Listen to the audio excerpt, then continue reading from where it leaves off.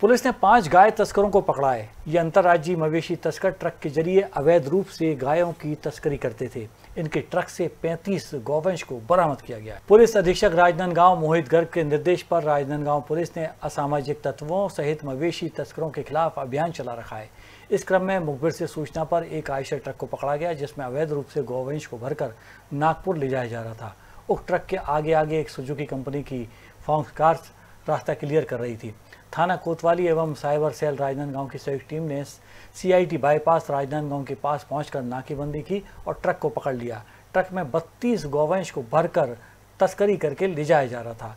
Truck एवं car में सवार तस्करों के नाम मोहम्मद शफकत, राकेश सुधाकर, राजू पाल, इंद्रेश डहरिया और शैलेंद्र तिवारी बताए गए।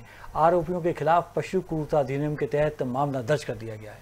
कोतवाली और साइबर सेल राजनांदगांव के द्वारा एक बड़ी कार्रवाई गोवंश तस्करी के इंटरस्टेट गैंग को पकड़ने में की गई है। एक बहुत बड़ी सफलता राजनांदगांव पुलिस को मिली है, जिसमें पाँच अंतर्राज्यीय मवेशी, तस्कर, एक आयशर ट्रक, एक फ्रोंक्स कार, पैंतीस नग गोवंश, पाँच मोबाइल जब्त किए गए हैं, जिसकी कुल कीमत करीब इकतीस लाख रुपए है।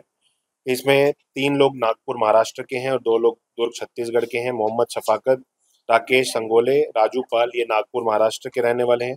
इंद्रजीत डहरिया, शैलेंद्र भारती दुर्ग के रहने वाले हैं। तो एक बड़ी सफलता इसमें मिली है, इसमें एक जन अभी बचा है, दुर्ग बिलाई का रहने वाला है।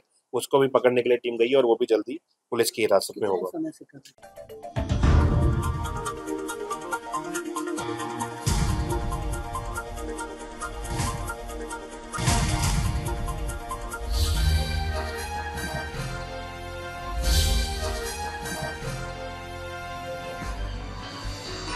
आप देख रहे हैं दखल न्यूज़।